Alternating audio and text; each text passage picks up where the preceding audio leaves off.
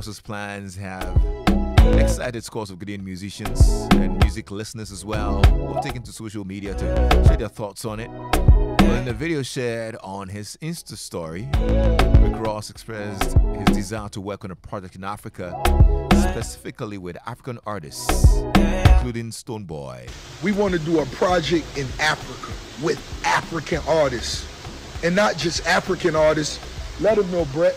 We want to incorporate artists from where?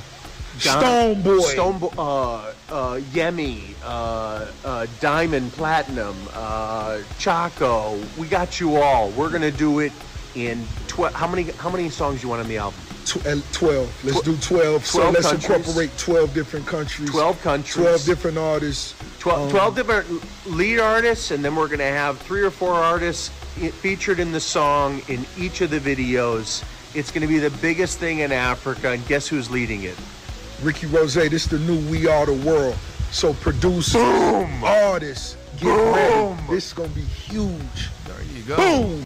That's a beautiful one, you know what I'm saying? I'd love to hear a Stonebwoy Rick Ross record. That's going to sound like it's going to be good. Well, let's come back. Now, Kofi Jamar uh, has opened up as well. Uh, Ghanaian rapper Kofi Jamar has left fans intrigued in a cryptic message shared on social media platform X. Now, the also hitmaker opened up about his extended hiatus from releasing new music, attributing the absence to personal struggles that have uh, kept him away for over a year and a half. Uh, in a heartfelt post, he candidly revealed, I haven't dropped music in almost a year and a half. I'm going through a lot that nobody knows.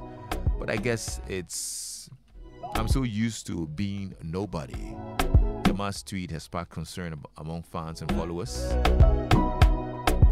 leading to speculations about the rapper's well being and the future of his music career. Well, I hope we can reach out to that brother, and uh, he's probably going through a lot.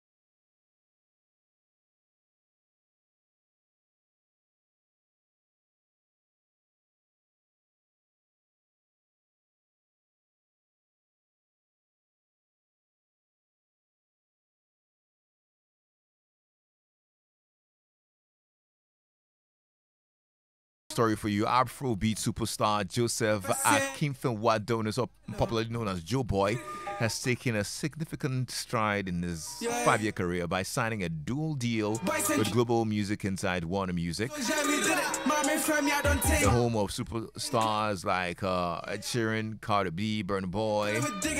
The dual deal sees Joeboy launch his own entertainment outfit, outfit called Young Legend, as well as being Warner Music's latest flagship artist out of Africa.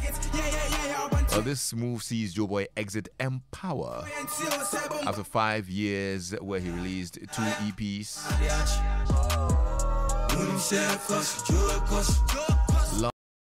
And Body, Soul, and Spirit.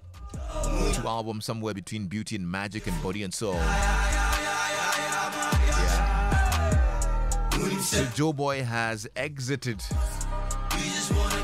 emPawa now.